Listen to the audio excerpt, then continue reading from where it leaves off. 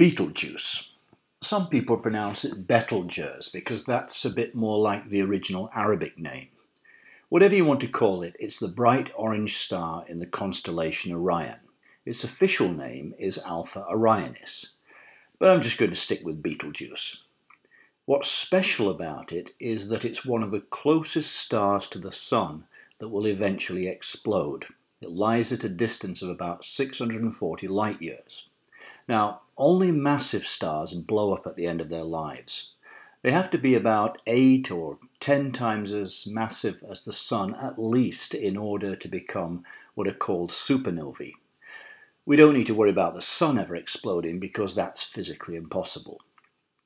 Betelgeuse is about 10 million years old, which isn't much as far as stars go. The Sun, for instance, is nearly 5 billion years old. But Betelgeuse is already senile. That's because the more massive a star is, the hotter it gets deep inside, and so the faster it runs through its main nuclear fuel. The main fuel of stars is hydrogen in the core, which is converted into helium by nuclear fusion, and in the process a lot of energy is released. Betelgeuse has raced through its core hydrogen supply and has now swelled up to become what's called a red supergiant. It's one of the largest stars that we can see with our eyes alone, although much bigger ones have been found with telescopes. If it was put in place of the Sun, its surface would reach out nearly as far as Jupiter. In fact, it's so big that our largest telescopes can resolve it as a disk and even make out features on its surface. At some point in the next million years or so, Betelgeuse will explode. We can't be sure exactly when because we don't know how much mass Betelgeuse had to start with. It will have lost some along the way. And we don't know how long it's been a red supergiant. It could blow up in well under 100,000 years or live as long as a million, but it's unlikely to happen soon on a human timescale.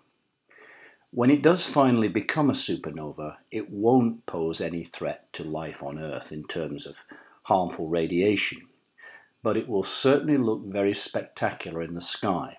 For a couple of months, it might outshine the full moon, and it'll be easily visible during the daytime. Then it'll quickly fade. Most of it will have been blown off into space and will be visible through telescopes as an expanding supernova remnant.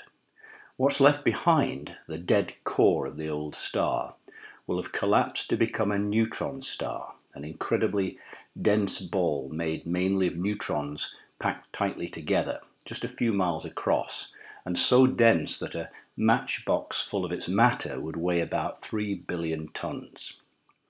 Betelgeuse almost certainly won't produce a black hole, unlike some even bigger stars that we'll meet in another of these videos.